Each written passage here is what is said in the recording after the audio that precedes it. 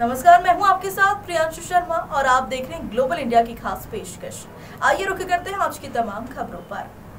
रविवार को छह वर्षीय बालक के चाइनीज़ मांझे की डोर से दुखद घटना के बाद धार जिला प्रशासन हरकत में आ गया है और प्रशासन का अमला दुकानों पर बिक रहे मांझे के धागे को लेकर आज सुबह कड़ी कार्रवाई करने पहुँच गया, जिससे त्रेता विक्रेताओं में हड़कम मच गया है। तो वहीं धार कलेक्टर और सपा ने मृतक के परिजनों से मिलकर सांत्वना दी है।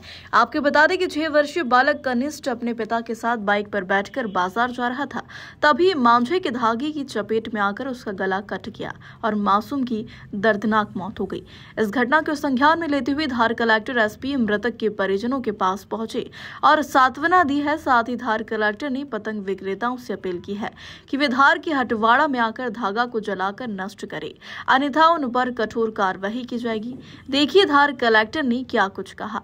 धार में चाइनीज़ मांझे से हुई बालक की मृत्यु पर कलेक्टर प्रियंक मिश्रा और पुलिस अधीक्षक मनोज सिंह ने मृतक के घर पहुंचकर परिवारजनों को सांत्वना दी है।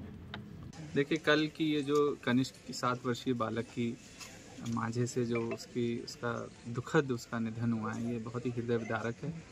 और वास्तव में बहुत कष्ट हो रहा है। इसमें हम लोगों ने कार्रवाइयाँ ज़रूर की थी, लेकिन उसके बाद भी कहीं ना कहीं ये माझा इस प्रकार का इस्तेमाल हो रहा था।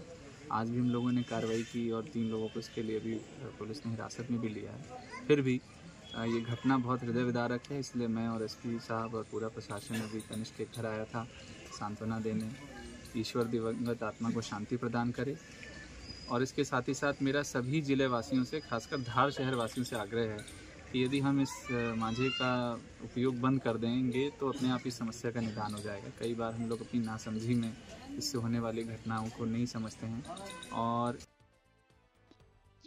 लेकिन जिन लोगों ने इसको यदि पूर्व में कभी खरीद लिया है या उनके घरों में किसी भी स्थिति में ये पड़ा हुआ है तो यदि हमें कनिष्क को सच्ची श्रद्धांजलि देनी है तो स्वतः अपने घरों में रखे गए इस प्रकार के मांझे को आप लोग निकाल करके उसकी तिलांजलि दे दीजिए, कचरा गाड़ियों में डाल दीजिए या आज शाम को हटवाड़ा में एक जगह पे जहाँ हम लोग कनिष्क को श्रद्धांजलि दे रहे हैं, वहाँ आकर के उसको आप छोड़ जाइए, कोई कार्रवाई नहीं होगी, उसको उठा करके सब अग्नि में उसका जो है तिलांजलि दे दी जाएगी। यही सच्ची श्रद्धांजलि होगी कनिष्क को।